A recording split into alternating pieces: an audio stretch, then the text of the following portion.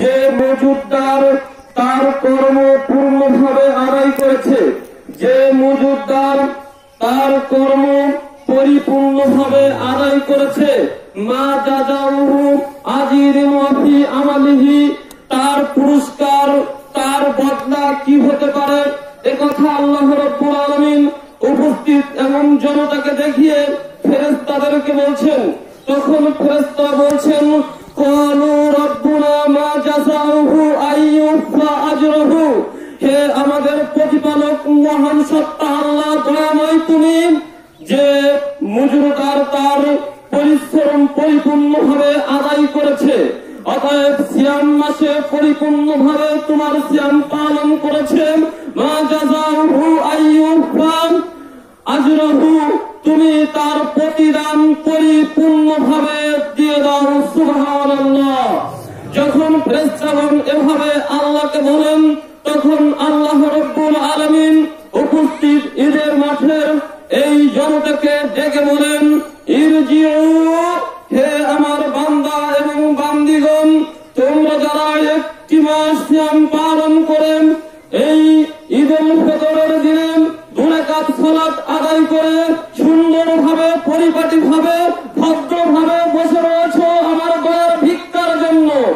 তোমাদেরকে বলছি তোমরা বাড়ি ফিরে যাও, ফাকাত গোফর কুলাকাম আমি তোমাদের যাবতীয় অপরাধ ক্ষমা করে দিলাম তোমাদের বদল করে দিলাম, তোমাদের অপরাধকে তোমাদের যাবতীয় অপরাধকে আমি পূর্ণ দ্বারা বদল করে দিলাম সম্মানিত উপস্থিতি, অতএব রমজান মাস এসেছিল তাকওয়া দেওয়ার জন্য। যে ব্যক্তি রমজান মাসকে সুন্দরভাবে কাজে লাগিয়ে আজকের এই ঈদুল ফিতরের মাঠে উপস্থিত হয়েছে। ওই নর এবং নারীকে লক্ষ্য করে আল্লাহ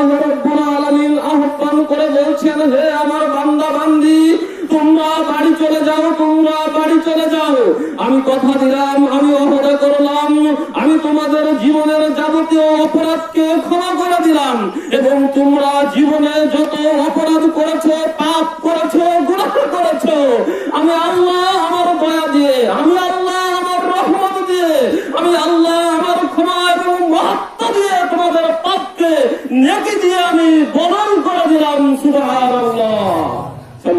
উপস্থিতি।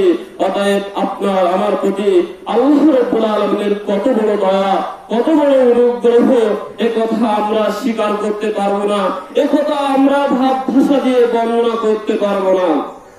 সম্মানিত উপস্থিতি, এজন্যই তো সাল্লাল্লাহু আলাইহি ওয়াসাল্লাম এত বড় প্রাপ্য দিনকে আমাদের জন্য খুশির দিন হিসাবে ঘোষণা করেছেন। এত বড় প্রাপ্যের দিনকে আমাদের জন্য খুশির দিন হিসাবে ঘোষণা করেছেন।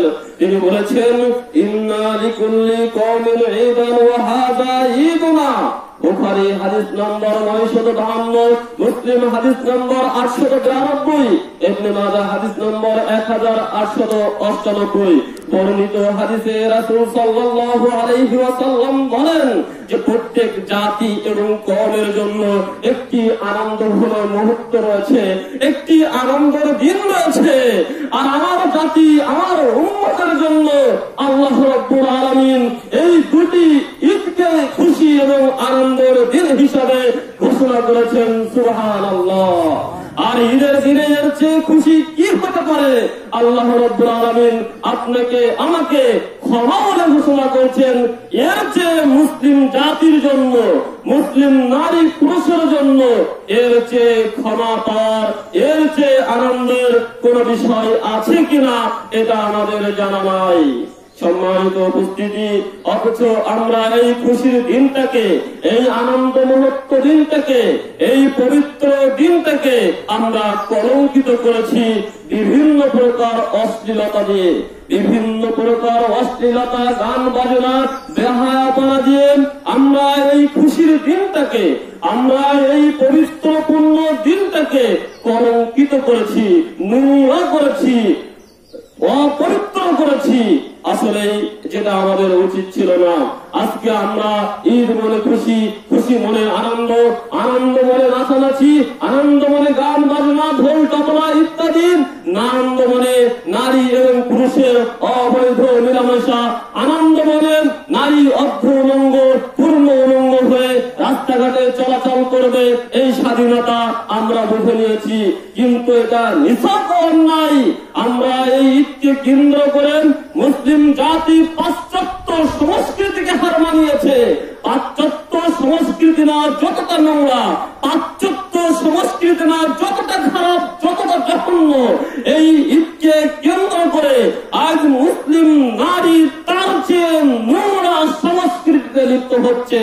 আজকে নারী পুরুষ একসাথে অবাধে মিলামেশা করছে। আজ আপনার বাড়িতে একটি ছেলে এসে ঠাই পাই আপনার বাড়িতে একটি মেয়ে এসে ঠাই পাই যাদের কোনো পরিচয় নেই, যাদের কোনো সম্পর্ক নেই। অথচ জিজ্ঞাসা করলে বলা হবে, ও আমার জিএ অথবা ও আমার বিয়ে অতএব বয়ফ্রেন্ড অথবা গার্লফ্রেন্ড এ নাম পরিচয় দিয়ে আপনি আমি এই বৈধ করে দিয়েছি। অথচ আসলে কারিম বলেছেন যখন কোন নির্জনে একজন পুরুষ এবং একজন নারী নির্জনে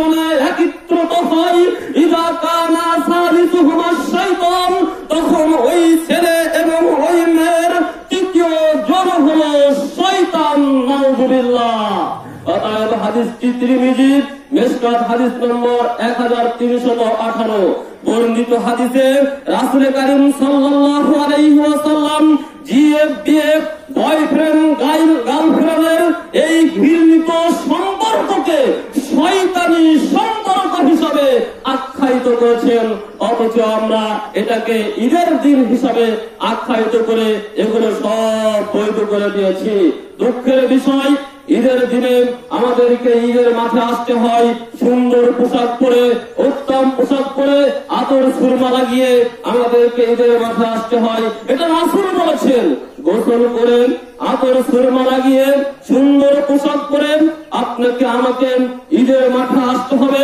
এ শিক্ষা রাসুল দিয়েছেন। কিন্তু দুর্ভাগ্য আমাদের এ জাতির, আমরা আজ দুই হাজার, তিন হাজার, পাঁচ হাজার টাকা দিয়ে জামা কাপড় ইত্যাদি ক্রয় করেছি। যে জামা ক্রয় করেছি সেটা গায়ে দিয়ে ঈদগাহে আসা যায় না। যে ড্রেস ক্রয় করেছি সেটা গায়ে দিয়ে সমাতে আসা যায় না। তাই বাড়িতে যে নোংরা পোশাক পরে রয়েছে পাঁচ বছর ধরে পোশাকটি পরে আপনি আমি ঈদের মাঠে এসেছি।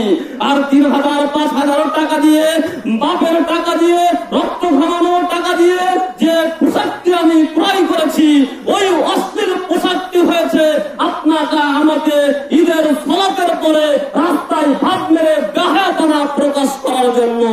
অথচ উচিত ছিল পিতাকে, উচিত ছিল মাতাকে, সন্তানকে এমন পোশাক ক্রয় করে দেওয়ান যে পোশাক আপনার আমার ছেলে এবং মেয়ে ঈদের মাঠে ঈদের সলাপ আদায় করতে যাবে। কিন্তু দুর্ভাগা আমরা পিতা মাতা আমাদের সন্তানকে এমন পোশাক ক্রয় করে দিতে পারিনি।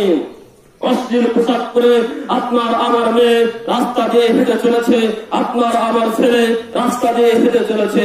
অথচ রাসুল কারিম ওয়াসাল্লাম বলেছেন মহিলা কাসিয়াতুন কাপড় পরে থাকেন আরিয়াতুন উলঙ্গ মুনিলাতুন এই উলঙ্গ কাপড় পরে একজন মহিলা নিজের দিকে অন্য পর পুরুষকে ডাকে, মাইলাতুন, এবং নিজেও অন্য পর পুরুষের প্রতি আকৃষ্ট হয়। রুসুহুন্না কাসনিমাতিল বুক্তিল মাইরাতি।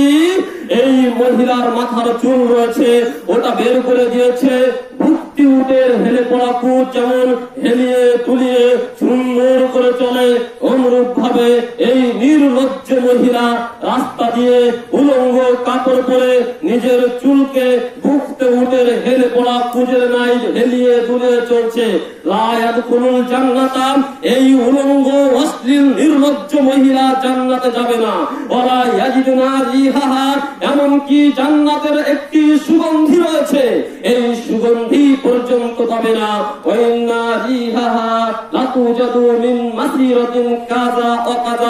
যে জান্নাতের সুগন্ধি বহু বহু বহু বহু দূর থেকে পাওয়া যায়। অথচ এই নির্লজ্জ উলঙ্গ বাহাপনা প্রকাশকারী নারীর জন্য জান্নাত তো নেই নেই। জান্নাতের সুগন্ধি পর্যন্ত নেই। মুসলিম মেসকাত বাংলা মেসকাত সপ্তম খণ্ড ইমদাদিয়া পুস্তকালয়, হাদিস নম্বর তিন হাজার তিনশত উনসত্তর। বর্ণিত হাদিসে রাসুল করিম ওয়াসাল্লাম সুস্পষ্ট ঘোষণা দিয়ে দিয়েছেন। সম্মানিত উপস্থিতি, রাসুল করিম সাল্লাল্লাহু আলাইহি ওয়াসাল্লাম আপনার আমার সমাজ থেকে বেহায়াপনা দূর করার জন্য, নির্লজ্জতা দূর করার জন্য তিনি বলেছেন আল মারাতু আওরাতুন নারী হচ্ছে লুকায়িত সম্পদ। নারী হচ্ছে সঞ্চিত লুকায়িত সম্পদ। ফাইজা খরাজা যখন এই সঞ্চিত, লুকায়িত গোপন সম্পত্তি বেরিয়ে পড়ে সম্মুখে মানুষের সামনে তখন শয়তান এই গোপন সম্পদকে, এই নারীকে নগ্নতার দিকে ধাবিত করে। ত্রিমিজি হাদিস নম্বর তিন হাজার একশত নয় বর্ণিত হাদিসে রাসুল করিম সাল্লাল্লাহু আলাইহি ওয়াসাল্লাম নারীকে লুকায়িত সম্পদ, নারীকে সঞ্চিত সম্পদ হিসাবে আখ্যায়িত করেছেন। তিনি বলেছেন? লুকায়িত সম্পদ যখন বের হয়ে যায়, শয়তান তাকে নগ্নতার দিকে ধাবিত করে। হে আমার সম্মানিত উপস্থিতি হে আমার সম্মানিত মা ও বোন, আপনার গিবত পরনিন্দা আপনার সমালোচনা, আপনার কুটক্তি করার জন্য আমাদের আজকের এই আলোচনা নয় শুধু বলতে চাই, হে মা আপনি জেনে রেখে দিন, হে মা আপনি জেনে রেখে দিন, হে আমার বোন আপনি জেনে রেখে দিন, পৃথিবীর সর্বশ্রেষ্ঠ সম্পদ হলো আপনি, পৃথিবীর যত দামি সম্পদ রয়েছে, সবচেয়ে দামি সম্পদ হলো আপনি আপনি হলো লুকায়িত সম্পদ, আপনি হলো গোপন সম্পদ, আপনি হলো সঞ্চিত সম্পদ এরা মুক্তা ডায়মন্ড, সোনা, গহেনা, টাকা, পয়সা যেমন ব্যাংকের ভিতরে আটকে রাখতে হয়, ওটাকে বাড়িতে রাখা যায় না। বাড়িতে তো রাখা যায় না, রাখা যায় না। ব্যাংকে আটকে রেখে সিকিউরিটি দিতে হয়, ফেলিয়ে রাখা তো অনেক দূরের কথা। এরা মুক্তা, ডায়মন্ড যেমন সঞ্চিত সম্পদ, তাকে আটকে রাখতে হয়, লুকিয়ে রাখতে হয়। আমাদের রাসুল বলেছেন, প্রতিটি নারী, প্রতিটি মহিলা প্রতিটি মা এবং বোন, পৃথিবীর সবচাইতে দামি সম্পদ। তিনি তার ভাষায় বলেছেন, আর দুনিয়া কুল্লুহা মাতাউন দুনিয়ায় যা কিছু রয়েছে, সব কিছু সম্পদ আর সম্পদ। দুনিয়ায় যা কিছু রয়েছে, সব কিছু সম্পদ আর সম্পদ। আর দুনিয়া কুল্লুহা মাতাউন অখয়রুল মাতাইদ দুনিয়া, দুনিয়ার সব চাইতে শ্রেষ্ঠ সম্পদ হচ্ছে আর আল মারাতু সালিহাতু নেককার সুন্দর সচ্চরিত্রবান স্ত্রী সুবহানাল্লাহ। অতএব পৃথিবীতে সোনা রয়েছে, গহনা রয়েছে, পৃথিবীতে হীরা মুক্তা ডায়মন্ড রয়েছে, যত সম্পদ রয়েছে, আমাদের রাসুল বলেছেন, স্বর্ণ অলঙ্কারের সবচেয়ে শ্রেষ্ঠ অলঙ্কার হচ্ছে নারী। সকল হীরা মুক্তা ডায়মন্ডের চাইতে উত্তম হীরা মুক্তা, উত্তম ডায়মন্ড হচ্ছে একজন সৎ নারী। অতএব যার ঘরে একটি সৎ নারী রয়েছে যার ঘরে একটি নেককার স্ত্রী রয়েছে। আমাদের সত্য নবী মোহাম্মদ সাল্লাল্লাহু আলাইহি ওয়াসাল্লাম ঘোষণা করেছেন, উক্ত ব্যক্তির ঘরে পৃথিবীর সবচাইতে শ্রেষ্ঠ সম্পদ রয়েছে। সুবহানাল্লাহ। অতএব হে আমার মা বোন, আপনার মর্যাদা কত? আপনার মূল্য কত? আপনার দাম কত? আপনার দাম দেওয়ার ক্ষমতা আমরা রাখি না। আপনার মূল্য দেওয়ার ক্ষমতা আমরা রাখি না রাসুল কারিম সাল্লাল্লাহু বলেছেন, যদি কোনো মানুষ তিনজন সন্তানের পিতামাতা হয়, যদি কোনো মানুষ তিনজন কন্যা সন্তানের পিতামাতা হয়, এই তিনজন কন্যা সন্তানকে যদি সুন্দরভাবে লালন পালন করে, সুশিক্ষা দিয়ে তিনটি ছেলের সাথে বিবাহ দিতে পারে, দিনদার ছেলেকে দেখে, এই তিনটি মেয়ের কারণে এই তিনটি মেয়ে ওই পিতা নিয়ে যাবে সুবহান আল্লাহ এ সম্মানিত মামুন, আপনার মর্যাদা কীভাবে বর্ণনা করি? তিন মেয়ে বলতে গিয়ে রাসুল আলাইসাল্লাম দ্বিতীয় বাক্য বলেছেন, দুটো মেয়ে হলেও তাকে জান্নাতে নিয়ে যাবে। অর্থাৎ মেয়ের মর্যাদা কত? কিন্তু একশো জন ছেলে জন্ম দিয়ে সেটা জান্নাতে নিয়ে যাবে। এ কথা কোথাও রাসুল সাল্লাহ আলাইসাল্লাম বলেননি। অতএব আলোচনার শেষ অংশে বলতে চাচ্ছিলাম, আসুন আমরা সকলেই মিলে এদের পবিত্রতা রক্ষা করি এবং বেহায়াপনা পরিহার করি। আমরা পৃথিবীর শ্রেষ্ঠ সম্পদে রূপান্তরিত হই। আল্লাহ রব্বুল আলামিন আমাদের জন্য যে সুন্দর একটি ক্ষমার দিন দিয়েছেন এই পবিত্র দিন দিয়েছেন এই পবিত্র দিনটাকে আমরা রক্ষা করি। অথচ আমরা এই পবিত্র দিনকে বিভিন্ন ভাবে কলঙ্কিত করেছি। আমরা কলঙ্কিত করেছি কীভাবে? আমরা পুরুষরা নারীদের বেশ ধারণ করেছি। নারীরা পুরুষের বেশ ধারণ করেছি। অথচ রাসুল করিম সাল্লাল্লাহু আলাইহি ওয়াসাল্লাম বলেছেন, লানাল্লাহু রাসূলুহু আল মুতাসাব্বিহিনা মিনান নিসাই ওয়াল মুতাসাব্বিহাতি মিনান নিসাই বির রিজালি। মুসলিম বাংলা অষ্টম নম্বর